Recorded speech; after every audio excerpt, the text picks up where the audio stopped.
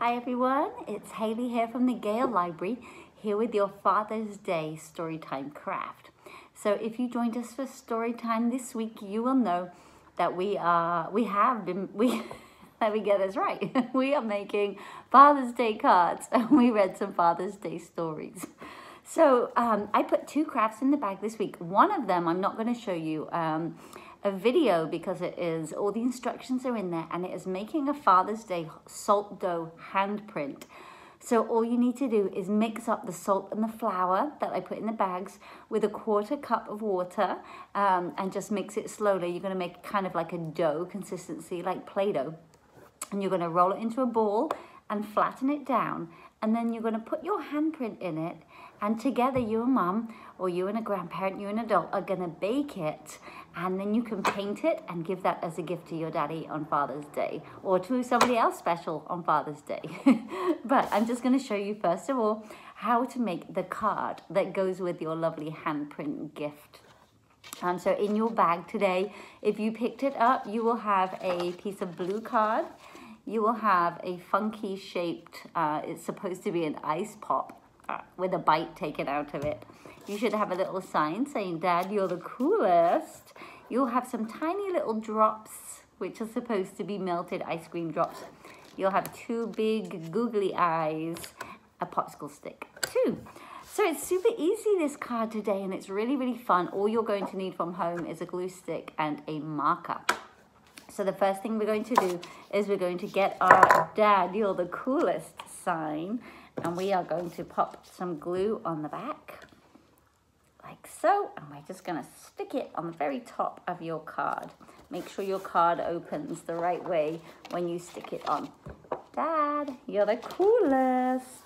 Then the next job, we're gonna find our, our, lollipop stick, our popsicle stick, and we're just gonna add glue to the back. So this glue should work just fine, but if you're worried, you can also use hot glue with the help of a grown-up, or you can use school glue. Just takes a little longer to dry, but as you can see, this glue works just as well.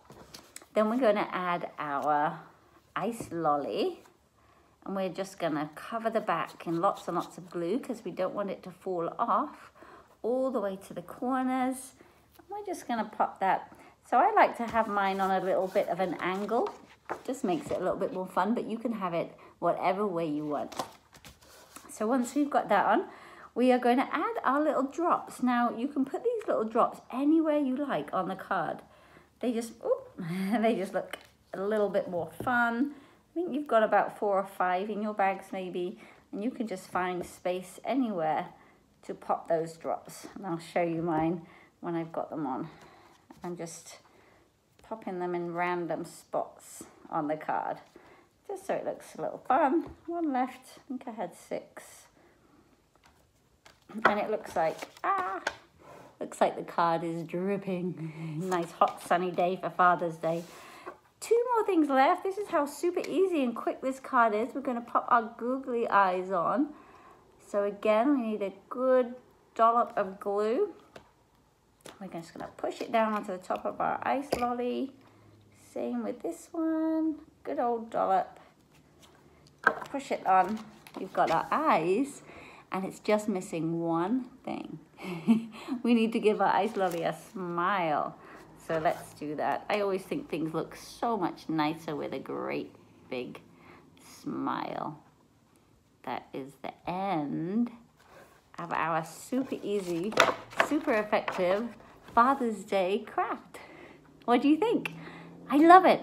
Your next job after the end of the card is made is to open it up and draw daddy or somebody that you love a really nice picture inside or you could write them a I love you message or you could do something fun inside the card for them.